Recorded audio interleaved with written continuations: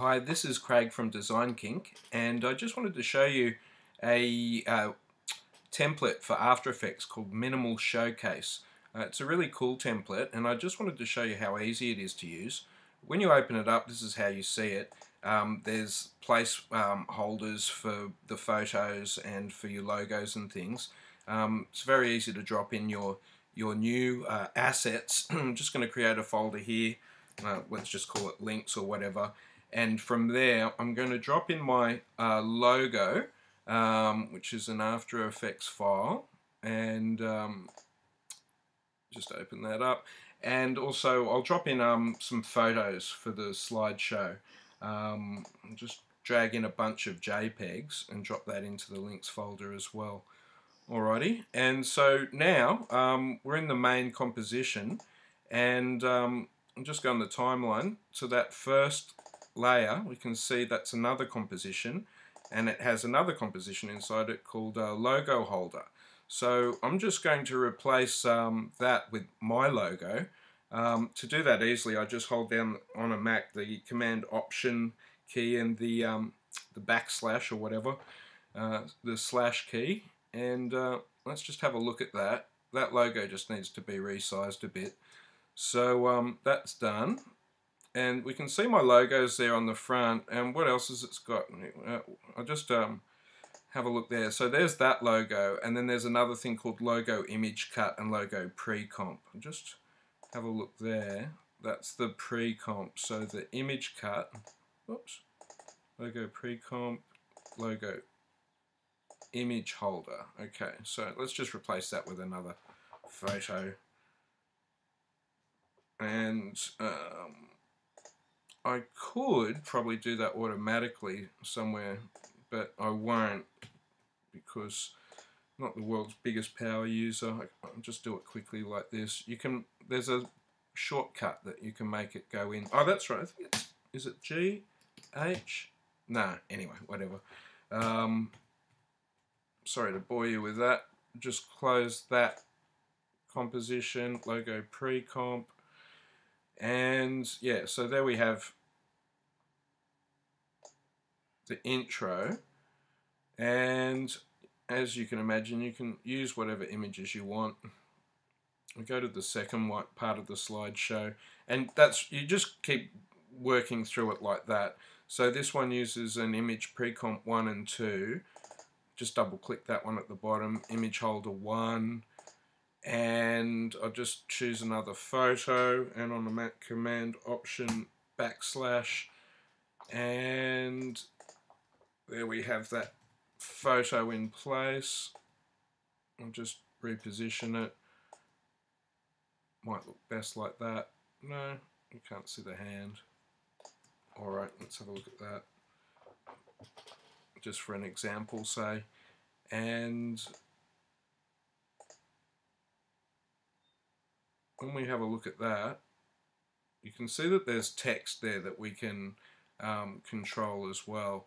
So add your own text and um, the city by design say.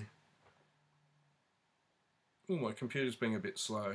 The slowness is also because I'm recording this video as well. Um, the city by design um, have your say.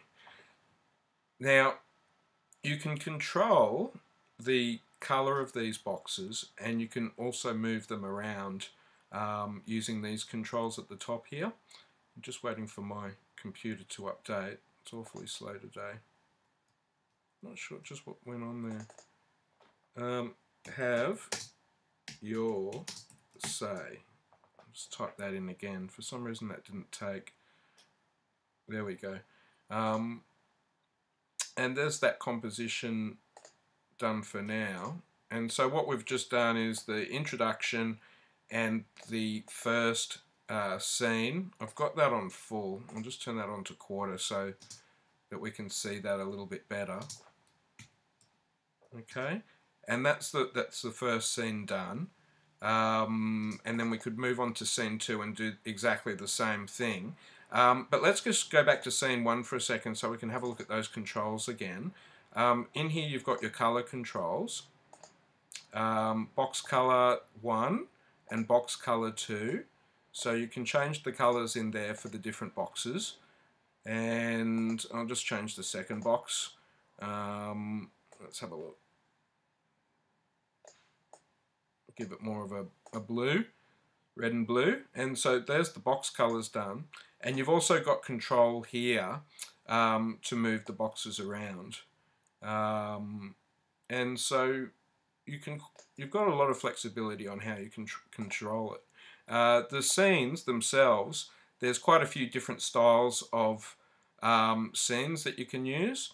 And um, one way I did it um, when I had a, a slideshow with hundreds of photos was just to copy um, the entire project and save it again and export out um, uh, the different um, scenes which use the things that the, the, elements that that look good for you. For instance, this one um, looks great um, in some situations, but in other situations you might not want to use it.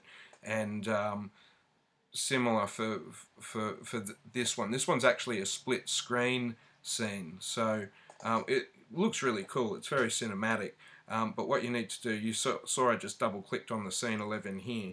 In this instance, there's a pre-comp number 11 and there's actually two image holders. So I would have to swap um, that photo out in that image holder and I would also have to swap this image out in this image holder.